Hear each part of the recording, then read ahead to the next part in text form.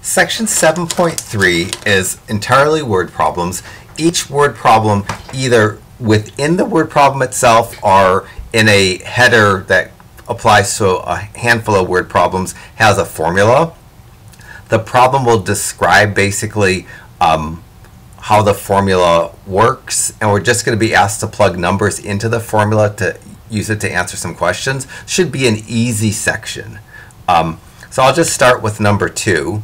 I created a an equation in function notation, so I use something uh, function notation as opposed to xy notation. And if I read the problem, it says the value, this v in the formula means the value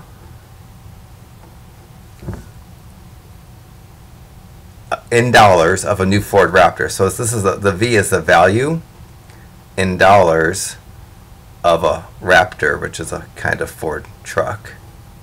Um, so it says the value V of t in dollars of a new Ford Raptor that is t years old. So this notation, this V of t, the V stands for the value, and the parenthetical t that's inside the t that's inside the parentheses is the age of the truck. When a truck is brand new, it's zero years old, and then you know obviously just t is just a number of years, or the age of the raptor in years.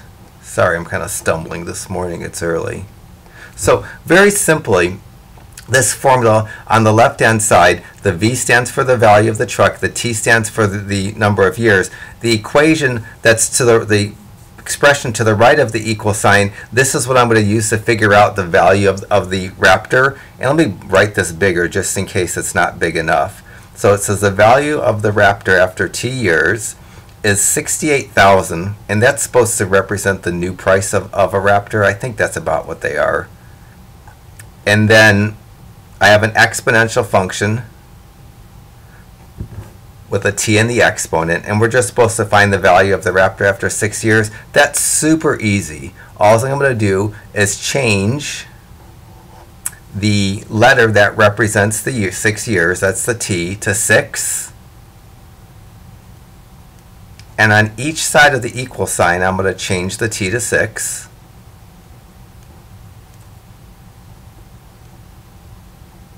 Now I'm going to enter this on my calculator, and because this is money, I'm going to round it two decimals. So simply I'm just going to break out my calculator, do 68,000 parentheses 0.93 parentheses up arrow 6, round to two decimals, and my answer, the value of the truck after six years, is going to be rounded to two decimals, $43,995 and 33 cents. It might be nice if I added more to the value of the Raptor after six years.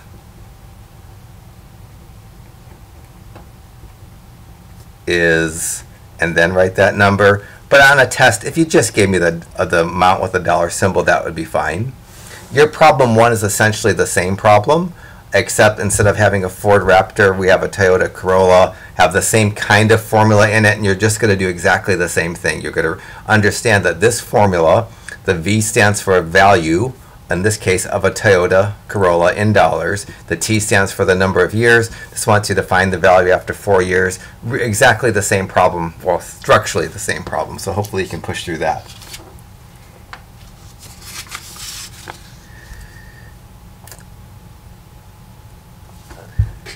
So three and four um, are a little wordier. Let me maybe do three with you and skip four. So if I read number three, it talks about the number of computers infected by the infected by the spread of a virus through an email can be described by the exponential function c of t. I think c stands for computer, t number of computers, t stands for some sort of time. Um, C of t equals 4 times 1.02 to the t power, where t is the number of minutes since the first infected email was open. And then it says approximate the number of computers that will be infected after 6 hours, which is 240 minutes. So this formula that's given in problem 3, the C stands for the number of computers infected. that, that have the virus that's being spread through an email. And the T in the parentheses is the time unit. And this is in minutes as opposed to in hours. So the left-hand side, the number of computers that have the virus after t minutes can be modeled by the formula 4 times 1.02 to the t power. So the left-hand side, it kind of tries to describe what the formula is going to give me on the right-hand side.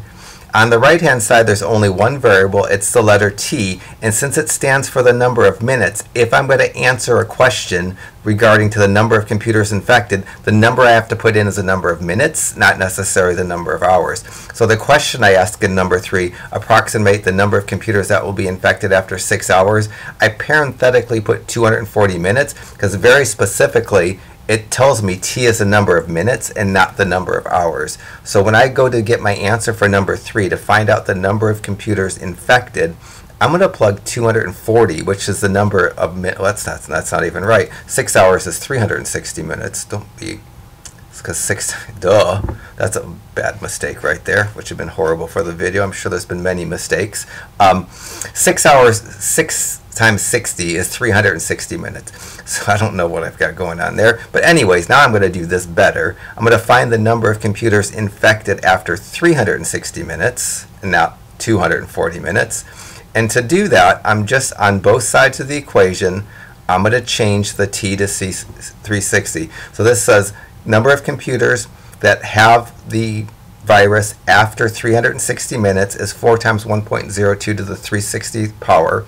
And because you can't have a fractional computer infected, I'm going to round to the nearest whole number. These exponential functions give you approximate answers. They're not necessarily going to be 100% exact. It's just a way to estimate um, how many computers will have that virus. So I'm just entering this on my calculator. I'm going to round. I'm just going to say about, since it wants me to round to the nearest computer. I'll say about 4,990 computers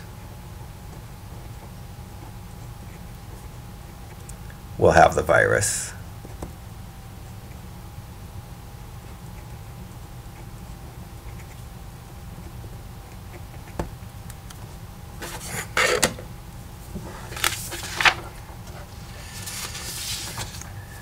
Five, I completely, as a, can tell when I read problem five that I had to find this on the internet. I was feeling lazy and not trying to create problems on my own. And um, five, there's no way, I don't really know the units for measuring charges in the battery. But five and, and um, six are, are similar in that they give me a formula and it tells me what the formula measures. So in your problem number five, the formula, this C parentheses T equals this ugly decimals 0.003 parentheses 0.7 to the t power. The, the C stands for the charge remaining in a battery and the T stands for the number of days. So if we're doing number five, it asks me to find the charge of the battery in 10 days. And very specifically, as I read through the problem, it tells me that the C is going to be the charge remaining in the battery.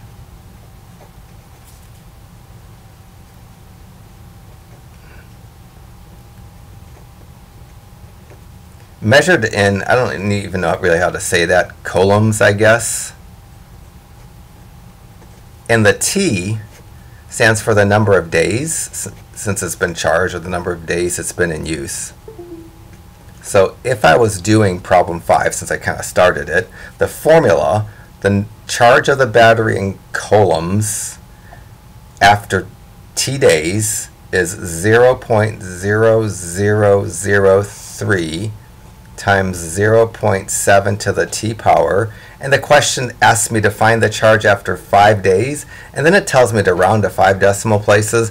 Uh, the reason I'm probably doing that is because this right here is going to give me, if I, if I round it like to one decimal place, it's probably going to be zero. So I'm going to plug in five for the time.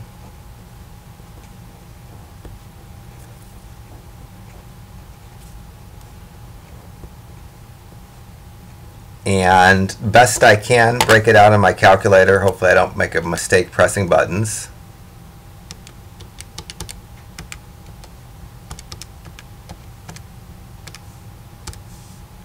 Ah, so my calculator did something that it's programmed to do to give a more accurate answer.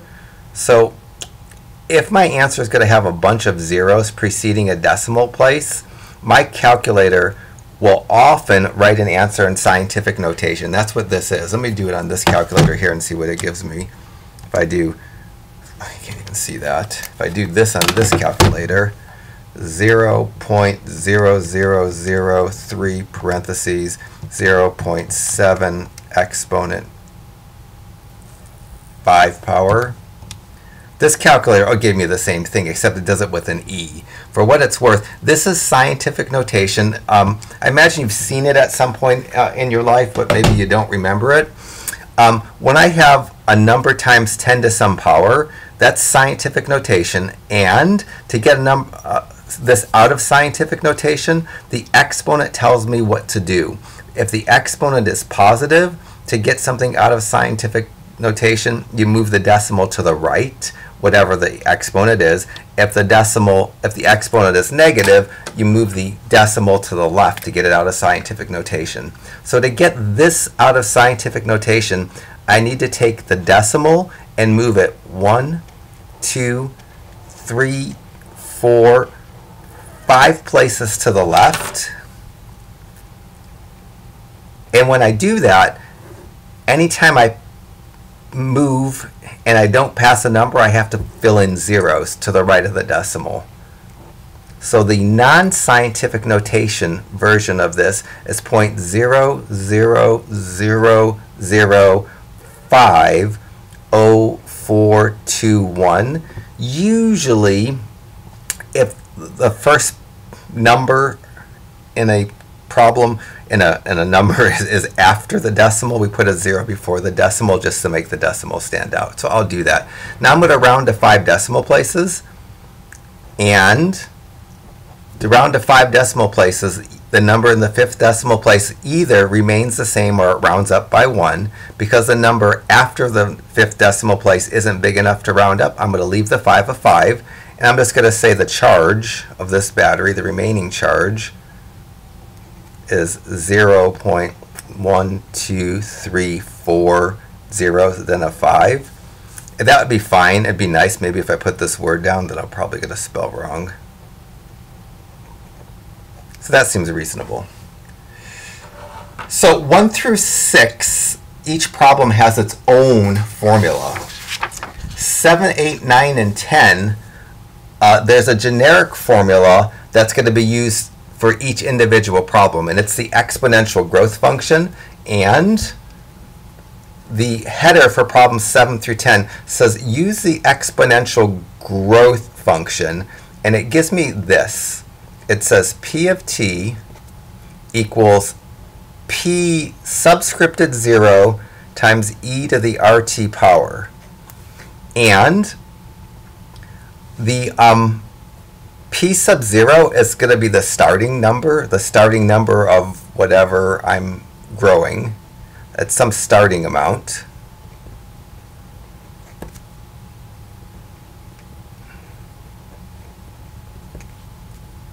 I'll talk about E in a second.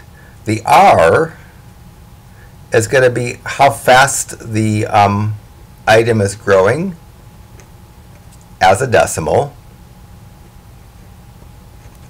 And the t is the time, could be in minutes, could be in hours, could be in days, could be in years.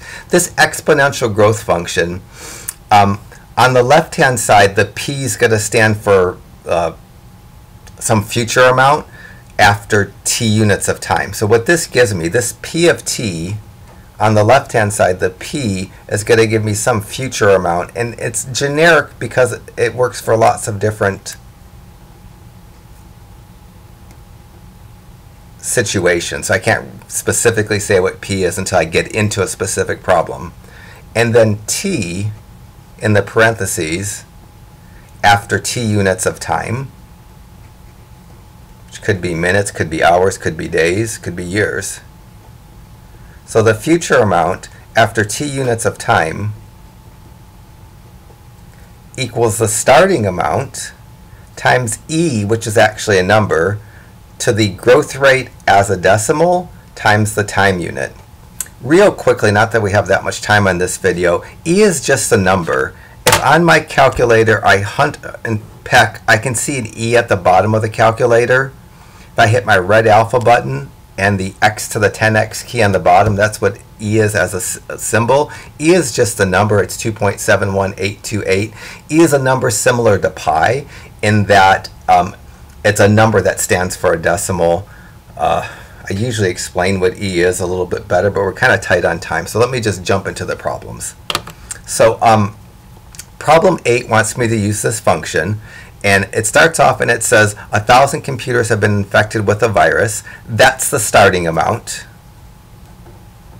So the initial number, the zero kind of means the initial. The initial number of computers that have a virus is 1,000. The numbers of number of computers infected with the virus is growing at 3% per day. R is the growth rate as a decimal. So this 3%, I need to make it into a decimal. There's an implied decimal after the 3 that I don't write, but it's assumed there. To make a percent into a decimal, I need to drag that decimal 2 to the left. And I'm going to say the growth rate as a decimal is 0.03. Usually if the first number is after the decimal, I put a 0 before it. So 1,000 computers, that's the initial starting number of computers that have the virus. The number of computers infected is growing at a rate of 3% per day. That's the R. I need to change it to a decimal. How many computers will be infected after 10 days? T is going to be 10, and it's going to stand for days. So I'm going to use this formula. On the left-hand side, the P of T is going to be P of 10. And in this case, the P stands for the number of computers with the virus. And on the right-hand side, I get the P sub 0, which is the starting number. In this case, it's 1,000, times E, which is that 2.7 number, to the RT power, R times T power, where R is 0.03, and times T, which is 10. I'm going to shove this into my calculator and round to the nearest computer. So on my calculator, I'm going to do the right-hand side, do 1,000 alpha and e, and then exponent 0.03 times 10. And this gives me the number of computers that have the virus after 10 days is 1349.858. I'm going to round this 9, which is the the one's position. I'm going to round it up to a 10 because the 8 after the 9 tells me to round it up. Rounding that 9 up to a 10 will cause me to round that 4 up to a 5. And I can say there's going to be about 1,350 computers.